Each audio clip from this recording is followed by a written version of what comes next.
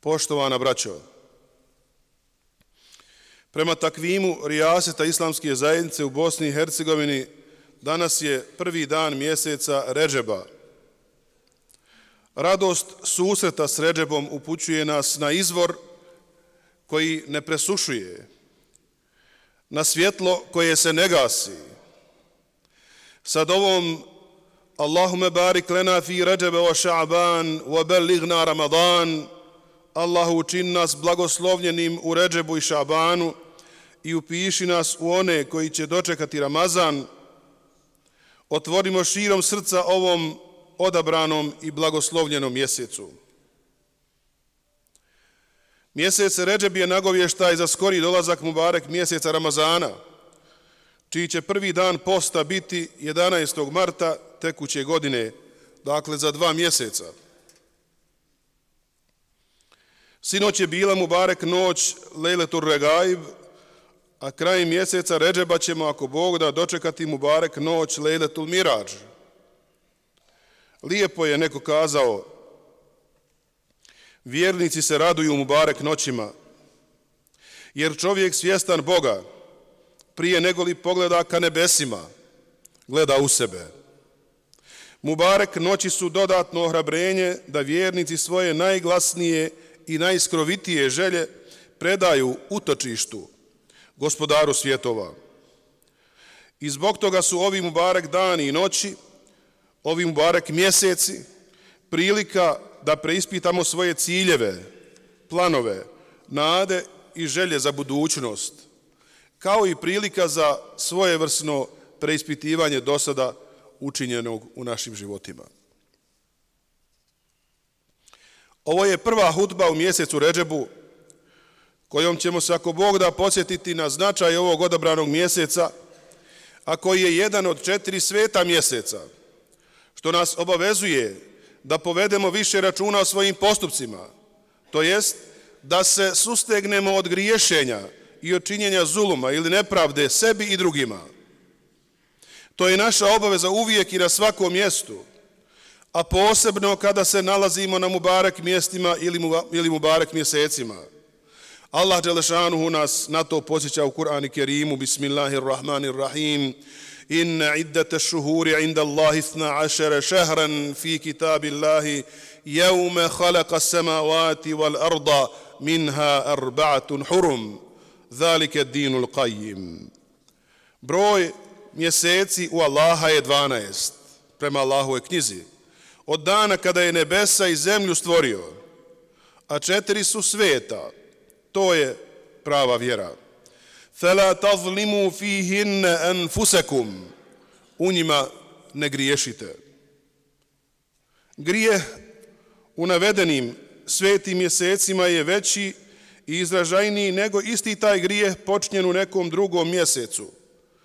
Kao što, su, kao što se i grijesi u svetom gradu Mekki, tretiraju težim nego grijesi počinjeni u nekom drugom mjestu ili gradu. Shodno Allahu i Đelešanuhu riječima وَمَنْ يُرِدْ فِيهِ بِإِلْحَادٍ بِظُلْمٍ نُذِقْهُ مِنْ عَذَابٍ أَلِيمٍ I onome ko u njemu, u gradu Mekki, bilo kakvo nasilje učini, dat ćemo da patnju nesnosnu iskusi. Imam i Ahmed zabilježuje hutbu govor posljednjeg vjerovjesnika Muhammeda sallallahu alaihi ve sellem govor koji je održao na oprosnom hađu, a prenosi ga Ebu Bekr radijallahu anhu. U tom govoru alaih selam je rekao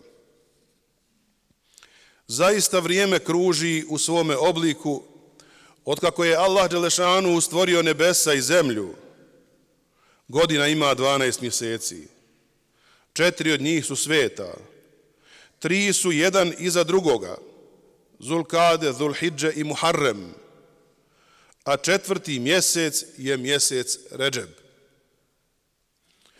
U ovom dužem govoru Allahu poslanik sallallahu alaihi wasallam je svojim ashabima postavio nekoliko pitanja iza kojih je odmah uslijedio odgovor. Na kraju ih je upitao koji je ovo grad? Ashabi odgovorše Allah i njegov poslanik najbolje znaju. Zar ovo nije grad Meka? Upita poslanik. Svakako, o Allaho poslaniče, rekoše ashabi. Tada Allaho poslanik, sallallahu alaihi ve sellem, kaza riječi kojima nije samo ashabe, nego je i sve nas obavezao da pazimo jedni na druge. Zaista su vaši životi i vaši imeci i vaša čast vama sveti, kao što vam je svet ovaj dan, u ovom mjesecu i u ovom gradu. I znajte, vi ćete susresti vaše gospodara, pa će vas on pitati za vaša dijela. Zato nemojte poslije mene zalutati ubijajući jedni druge. I prije Islama Arapi su četiri navedena mjeseca smatrali svetim. U njima su odustajali od borbe i poštivali su ih. Pomenuti ajet potvrđuje njihovu svetost i od nas traži da u njima sebi i drugima nepravdu ne činimo. Mjesec Zulkade je učinjen svetim zbog priprema za hađ. U mjesecu Zulhidžetu, kao što vam je poznato, izvršavaju se obredi hađa. Mjesec Muharrem je učinjen svetim kako bi se hodočasnici mogli bezbjedno vratiti svojim porodicama i u najudaljenije krajeve. I na kraju učinjen je svetim mjesec Ređeb radi obilaska svete kuće i obavljanja umre, kako bi i oni koji obavljaju ovaj ibadet mogli bezbjedno da dođu, obave ga i da se vrate svojim kućama. Spomenute mjesece, među kojima je i Ređeb, lijepo je provoditi u postu, u ibadetu, a posebno dakle u postu, što zaključuje iz hadisa kojeg bilježi Ebu Davud, da je Muhammed a.s. rekao jednom ashabu, posti mjesec Ramazan i po jedan dan od svakog mjeseca. A ashab ga zamoli, povećaj mi dane posta, jer ja imam snage da postim. Dobro, reče poslanik, posti po dva dana. Povećaj mi, posti po tri dana. Povećaj mi. Onda mu poslanik tri puta ponovi. Posti mjesece huruma, Zulkade, Zulhidže, Muharrem i Ređeb, ali i mrsi u njima. Komentarišući ovaj hadis, ima i nevevi kaže onome kome nije teško, lijepo je da posti sve dane u toku navedenih mjeseci.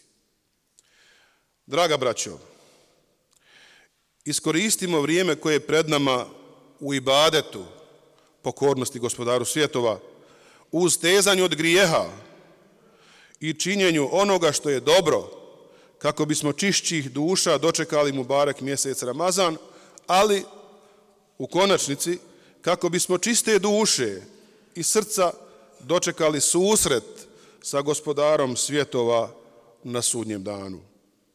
Molim Allaha Đelešan da nas sačuva i zaštiti od grijeha i griješenja u ovom barek mjesecu, da nam poveća iman i učvrsti nas na pravom putu, da nam oprosti grijehe, da nam se smiluje.